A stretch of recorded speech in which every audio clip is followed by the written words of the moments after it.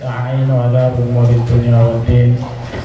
والصلاة والسلام على أشرف الأنبياء والمرسلين سيدنا محمد وعلى آله وصحبه أجمعين. ربي اشرح لي صدري ويسر لي أمري واحلل عقدة من لساني يفقه قولي. أما بعد.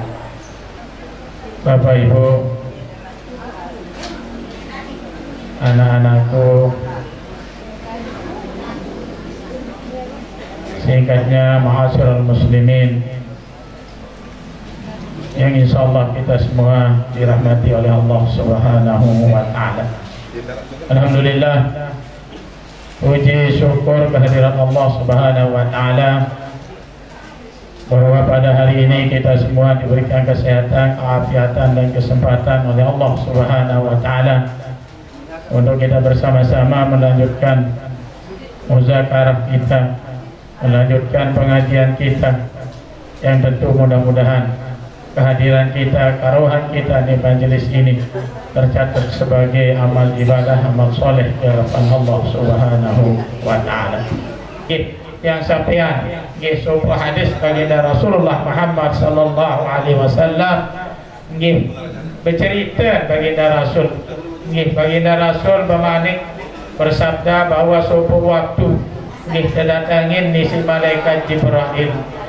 Atani Jibrailu lailatan nisfi min Sya'ban. Nah nggih dari baginda Rasul nggih bercerita. Nggih termasuk bercerita pelungguh tiang Bapak Ibu. Nggih suatu saat masa malaikat Jibril datang. Nggih bebarak nggih ngaturin ngaturan untuk baginda Rasul nggih entan malam nisfu Sya'ban. Nah, ia pun perlu terperingat Bapak Ibu syarat nisfu Sya'ban ini subhanallah. Nggih, ia bahasa baginda Rasul tercerita tebarak kita turin di si malaikat Jibril ya Muhammad hadhihi lailatun tuftahu fiha abwabus sama wa abwabur rahmah Nah dari tebaran malaikat Nabi tiap si malaikat Jibril bahwa nggih entan yang terbuka entan terbuka nggih pintu langit dan pintu rahmat. Entah cerita lain ibu yang kesendepan lalu di Mekah. Entah nentu le lawang Ka'bah senu lapor nongak iya tahun tembus. Pintu langit monik tebaran angkat ia ke ke Mekah. Ojok tu Ka'bah di Kuala Bani nonga laut tinju ke laut. Angkat daka ketul lawang Ka'bah tahu kedua berhenti dan nangis di Kuala Bani nonga ya. Ini tahun sa berbiru pintu langit dan perongok tembus laut punya si kemati tinju tu dia mun di Kuala Bani nonga jadinya kemakin ya. Ini nanti Bapak Ibu menurut beliau beliau sabit manasik bahwa tuh di pintu kampah dia dan tembus pintu langit di sini. Mau dipahami nongak jadinya kemakin dia dan ini mau tebaraan kita turin Nabi tiap pelunggup si malaikat Jibril entah yang terbuka pintu langit dan pintu rah rahmat. Sehingga berkembang nggih malaikat Jibril kepada Rasul fakum wasalli warfa. Nggih sehingga temanikan baginda Rasul malaikat Jibril sehingga malam nisfu Sya'ban senuh ya Muhammad tuis nggih nggih temanikan nanti yang pelungguh si malaikat Jibril tuis yang tuis kemil. Nggih tuis ke sembahyang. Nggih tuis ke sembahyang kemudian angkat kepalamu angkat tanganmu menghadap ke langit memohon kepada Allah Subhanahu wa taala. Kemik Bapak Ibu. Nggih yang pun menuntan sampai malaikat Jibril nentun ngajak baginda Rasul. Isi saran berlik ruan padilah sarah malam nisfu syak syambah agak rugi Bapak Ibu. Nggih sai-sai sandit sai-sai atau saya lewati saran malam nisfu syambah para bahasa almarhum Allah dan rugi begodol nggih rugi begodol Nah oleh karena itu Bapak Ibu rahimakumullah mudah-mudahan tiap program saat selalu selalu hadir di tahun ini. Mudah-mudahan diberikan kesehatan keapiatan dipanjangkan umur. Dengan yang tunggu nenek terbaik liwat kesaran malam nisbu Syaban demak malam Jumat ibu pun penanggalan kalender maupun penanggalan raja Nggih, malam Jumat dia tahu nih nisbu Syaban Nggih, Nabi yang terkawin Bapak Ibu para pengandikan malaikat Jibril untuk baginda Rasul temanikan sebahagian. Lamun kawin ibu bapak sholat sunat satu rakaat. Namun kawin.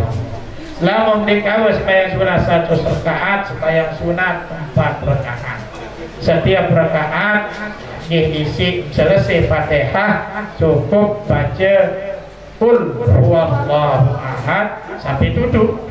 Allahu samad lam yalid wa lam yulad wa lam yakul lahu kufuwan ahad. Sekat sekek kali satu rakaat.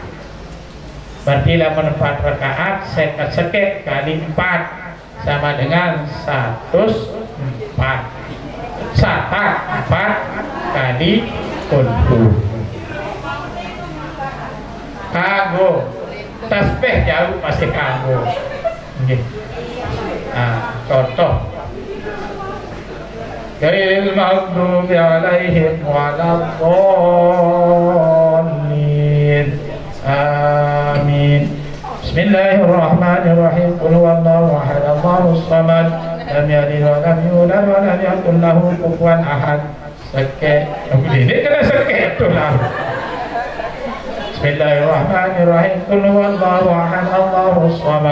Yalid wa lam yulad wa lam yakul lahu kufuwan ahad. Dua. Ini kena dua ni sembahyang maksud kepelapak tasbih berarti dua.